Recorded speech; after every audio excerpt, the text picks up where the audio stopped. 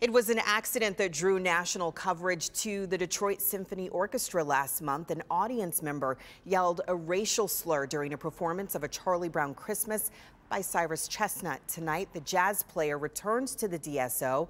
Paula Tutman joins us live with a preview. Paula?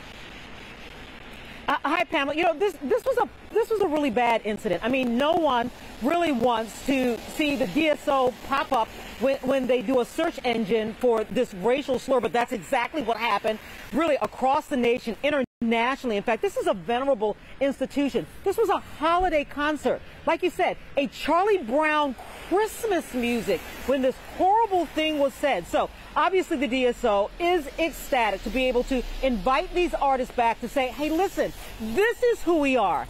That's not who we are.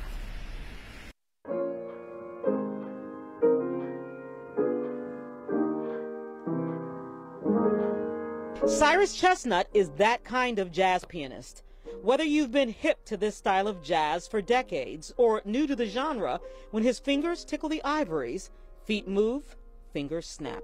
But December 9th, the holiday season last year, as Cyrus and his fellow performers were playing Christmas music at the DSO, a ticket holder in the venue stood up and loudly proclaimed the F bomb and then used the N word in a shocking public display of racism. I was shocked. Everybody was shocked. I mean, at first, nobody knew how to process it just because it was so out of character. Patrick Flanagan, a bartender for the venue, still shudders that that kind of racist, bigoted jazz could infiltrate the love of jazz music in any form. I was just disgusted and saddened, and uh, it's just not a reflection of what this place is. I've, I've been working here since 2013, and that's the first time anything like that has ever happened in my stint here. Tonight, DSO patrons will be treated to something extra. Not only a concert with Ravi Coltrane and Tana Alexa, but Cyrus Chestnut will open the show as Detroit welcomes him back for a set as a way to defy senseless hate.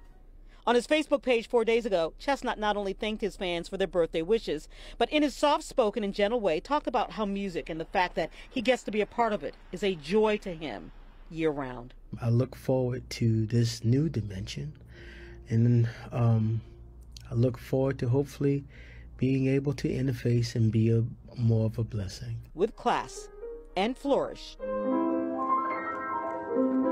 Detroit is happy he's back.